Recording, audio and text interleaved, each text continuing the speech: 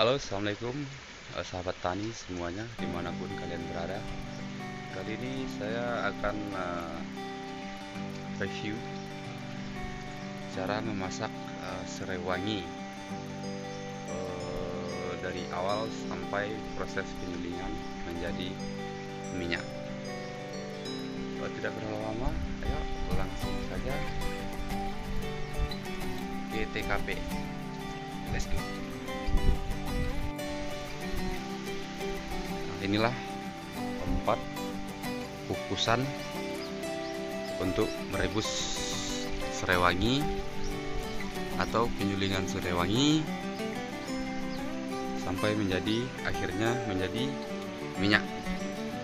Nah, seperti inilah bentuknya teman-teman.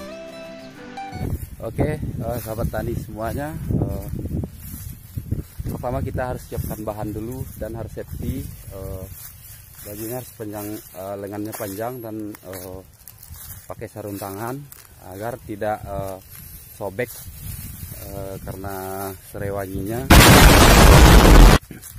Kalau untuk pemula ya kalau udah biasa seperti bapak ini. Oke kalau udah biasa seperti bapak ini nggak apa-apa pakai safety ya teman-teman. Oh my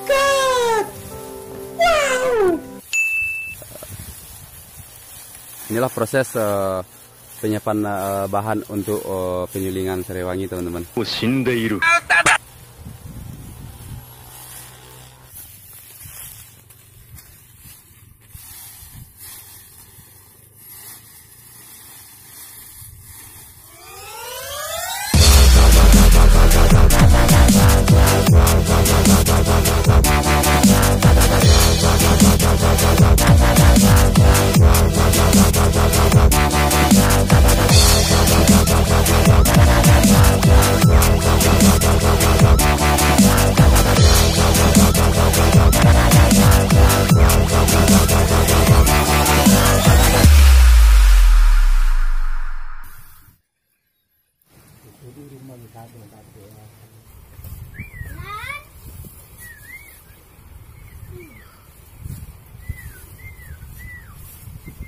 走了，把你这地把给。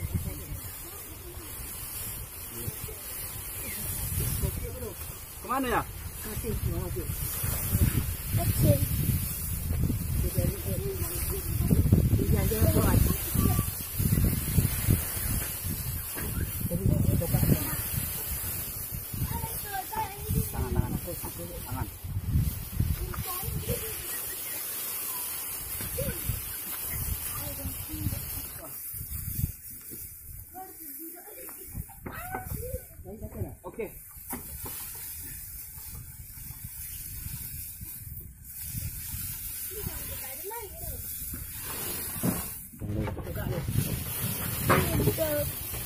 Coba sampai dekat ke.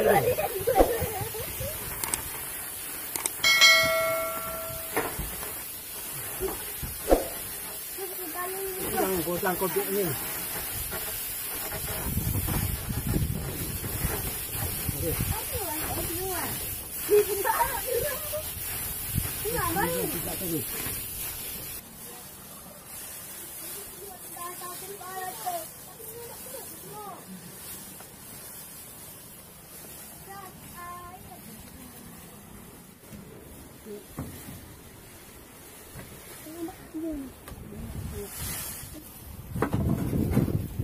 Oke, sahabat semuanya, misalkan isi isi tempat perebusan nasrewangi ini penuh ya teman-teman.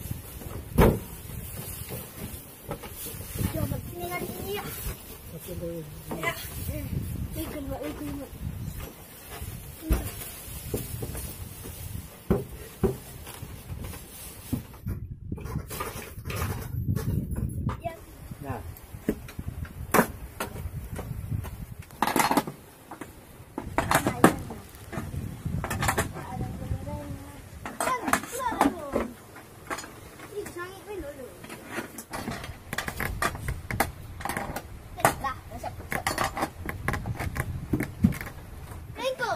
tayo. Wala daw. Wala daw.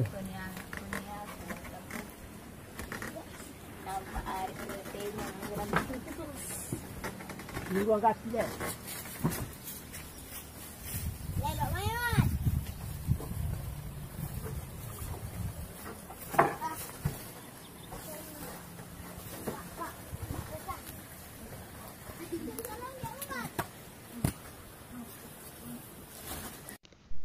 Nah, kawan-kawan semuanya, pastikan kondisi apinya stabil ya, agar uap, air, dan minyak yang dibawa keluar lancar. Selang satu jam setelah memanaskan air, uap dan minyak sudah mulai keluar teman-teman.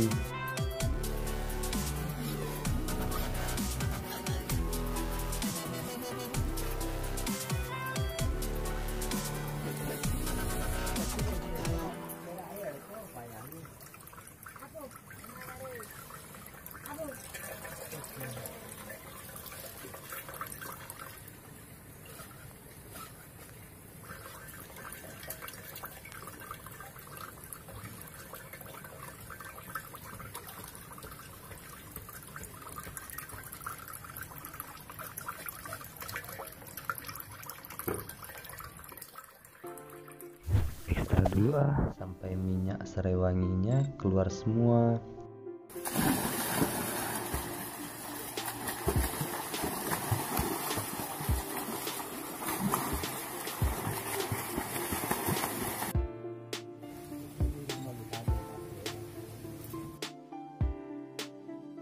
Tergantung kondisi apinya sih.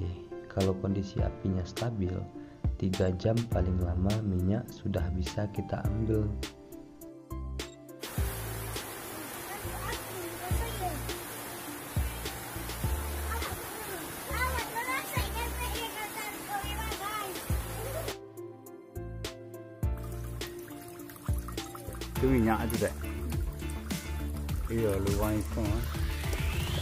Iya.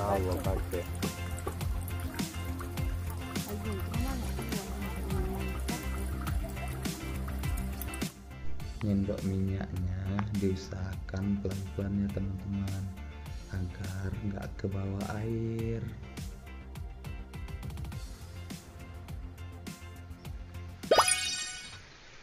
Inilah hasil minyaknya teman-teman sekitar 1 kilo sekali rebus.